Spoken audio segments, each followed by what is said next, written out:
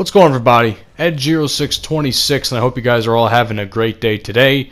Got some Battlefield 5 gameplay in the background for you guys to enjoy as I go down memory lane and I talk about some of my favorite things that I enjoyed about Battlefield 5 as the uh, as the lifespan of the game has now pretty much come to an end. I mean, they're not updating it anymore. Odds are, in a couple of months, player bases will shrink down to almost next to nothing. I wouldn't be surprised. And I personally haven't even played this game that much. It's just that ever since the my videos I made on Provence and Al Marj, I just I have had no urgency to play this game, and it just it's not that I don't like the game. I mean, the game is okay at best. It's just that I've had more fun playing games like Battlefield 1 and Battlefield 4. Games I feel like I have, they just have that fun factor. Like I said, they just have that fun factor that this game doesn't have for me for some reason. But like I said, we're going to go down memory lane and we're going to talk about some of my favorite Battlefield 5 moments throughout the lifespan of this game, which, to be honest with you, there aren't many of them. And the first one that I could recall was Mercury. Mercury is by far one of, if not my favorite map in, in this game.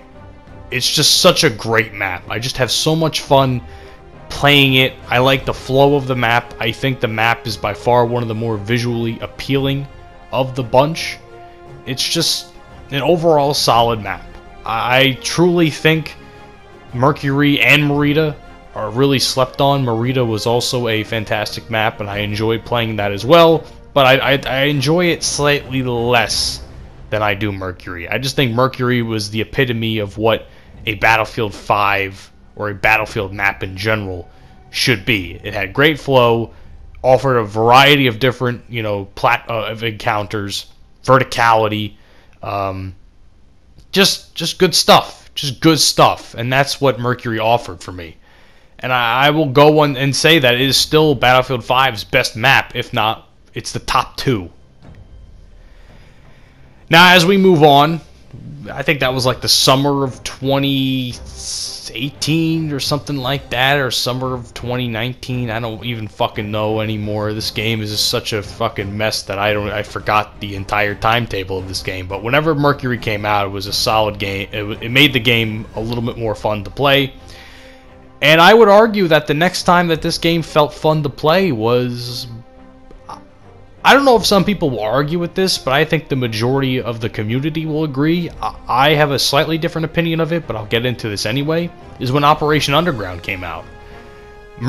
Operation Metro is by far one of the most iconic and hectic, and probably for some, some of the most fun they've ever had in the Battlefield franchise. And when Operation Underground, the Metro remake, or the retro, uh, the Metro reimagined uh, map, was going to come to the game. I think a lot of people were excited. I was excited but skeptical, and we play the map, and it, it felt good. You know, the, it doesn't feel any different from Metro. That really doesn't offer anything different, other than the fact that there's a little bit more of a um, there's a little bit more of an a focus on outdoor combat, which is good. You know, it's not so much taking place in the subway itself. Yeah, there's a little there's ways where you can get stuck in the subway, and there might be some flanking routes here and there, but it, it was definitely an okay map. I enjoyed it a lot. You know, obviously there are people that are getting 60, 70, 80 kills at times on that map. Hell, I, there might even be someone that's gotten 100 or more.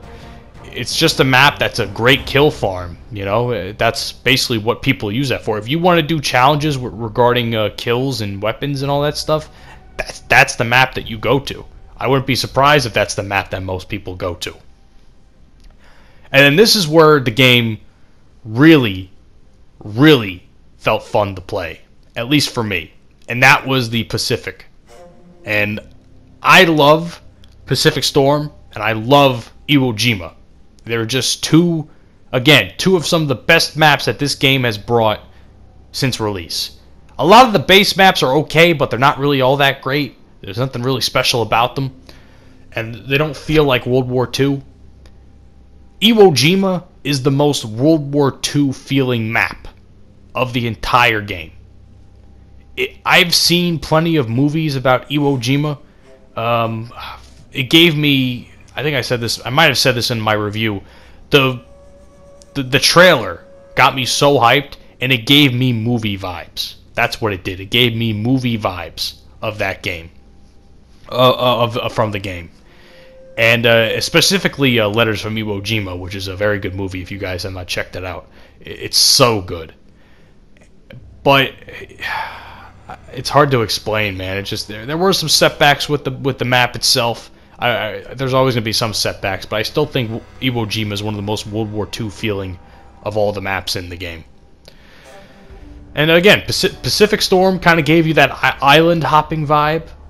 And then, of course, Wake Island came, which, I'm not going to lie, uh, I wasn't all that big on Wake Island. I think I even went out and said that, you know, of all the maps, this game was probably, of all the maps that they released for this one, this one was like the most, this one let me down. It kind of let me down. I mean, I don't like the World War II setting for this map. It's just not good. It's not a solid, it's not the way the mechanics of this game work, it's just I don't find this map to be appealing in this game. I'm sure in Battlefield 3 it was fantastic. I'm sure in previous games it was great. But Wake Island and Battlefield 5 didn't really do it for me, and that kind of gave me like a uh, kind of gave me a low moment with the game.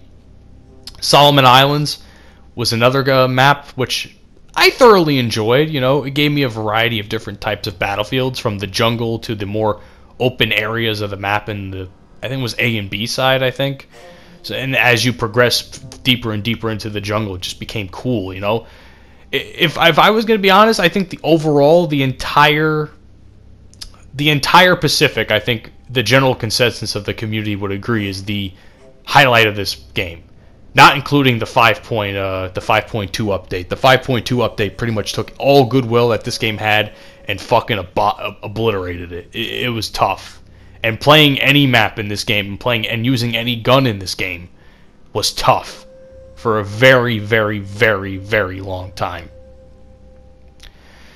And that's pretty much it man. That that's honestly it. I mean there are a couple of other instances that where i have enjoyed this game. I, I think the most latest one is provence 64 i'll i still will go out on record saying that that is it is by far the most visually appealing next to mercury I think Provence 64 is so beautiful, and of course it gives you a very familiar play style. That's Goldmud Railway. Someone actually asked me in, a, in my uh, Provence 64, is like, do you think it's just a Goldmud remake? I said, I don't, I don't think it's directly a Goldmud remake. I think it's directly inspired by Goldmud, but I don't think it's a complete remake. Because if it was a remake, they would have had like some sort of train tracks or some shit. They would have done something a little bit more. Uh, I think they would have made it bigger I think that's what they would have done. Then again, most people don't really fight in the uh, don't. Most people don't really fight in the fields of uh, Provence anyway. And then Al Marj comes, and it, you know, to me, Al Marj isn't anything special. I mean, same thing with Al Sundan. It's it's okay. The map's okay. I think it only works on certain game modes more so than um, others. Uh, it's definitely a meat grinder, Al Marj. I mean, I made the joke about Achi Baba being the meat grinder of Battlefield 1. And uh, of course, Operation Metro and Operation Locker are definitely the meat grinders of Battlefield 4. Al Marj is by far probably the most meat grinder map of Battlefield 5. That's how I uh, that's how I compare the two. But even with Al Sundan, I mean, Al Sundan wasn't anything special to me, man. That was like another low point I had during this game when Al Sundan launched fully.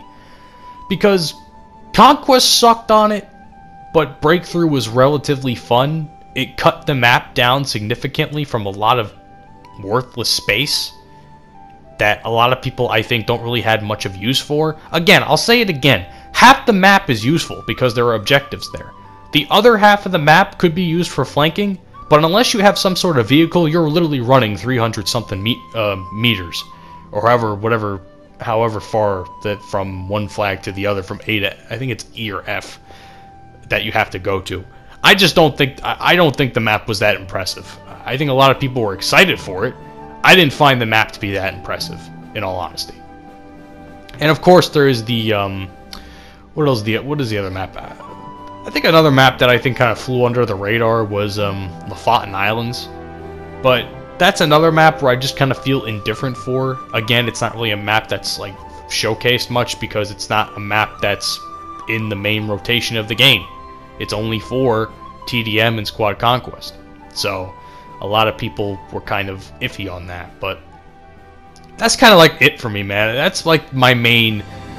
That's it, man. Like that's how I feel about Battlefield 5's and some of the high points and some of the low points I had in this game's lifespan. I mean, I would go and say, I would go from the very beginning and say how I felt about this game, but to be honest with you, nothing about the game excited me other than like a couple of maps that I had already played.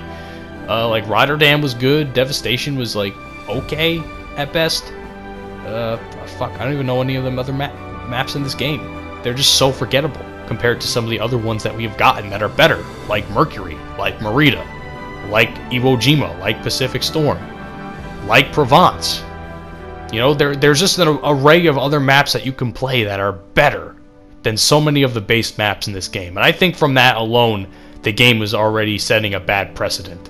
And I think as time went on and these maps came out, I think some good faith was restored with the community. And of course, I don't know if I'd say it's all gone or not, but I don't know. It's just hard to say that's pretty much it, guys. You know, talk. Tell me in the comment section what were some of the high points and some of the low points for you in uh, Battlefield 5. I mean, I've gone. I think any anything anyone with a brain can say, or most people with a brain can say, the 5.2 update was by far some of the worst that they had ever seen. But uh, give me something a little bit more unique than that. Give me something like, oh, you know, give me like maps that you were excited for, maps that, that you didn't like that came to the game, or you know, gun mechanics, gun releases, that sort of that sort of deal. Give me something a little bit more in depth because we all know most of the community hates the 5.2 update and this and would have rather it would have rather it would have been completely wiped off the face of the earth. So that's all I got to say for you guys today. I hope you guys enjoyed. Uh, follow me on all the social media and streaming platforms you see down in the description below. And uh, subscribe to the channel if you haven't already, man. I'm sure a lot of people are new here. I've seen a lot of new faces come over the last couple of months, and uh, I'm glad that you guys are here. So if you want to see more, by all means, subscribe. And uh, have a good day. Peace out. Take care of yourselves, and most importantly, take care of each other.